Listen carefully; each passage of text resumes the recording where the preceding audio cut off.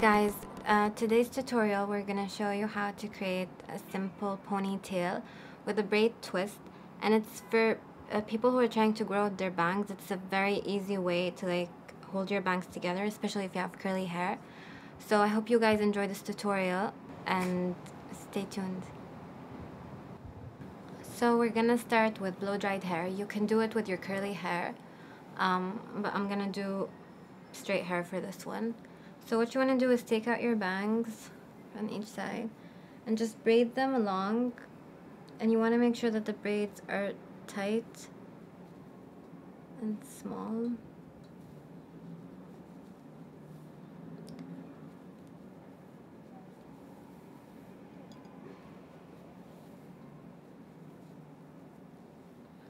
And then you want to pin it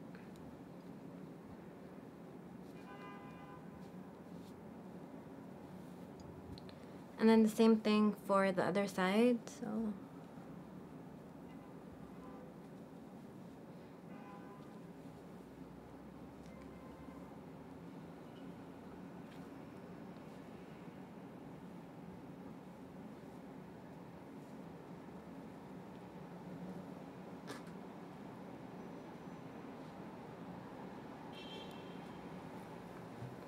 And then you can always leave it like this, but we're gonna do a ponytail, so it around.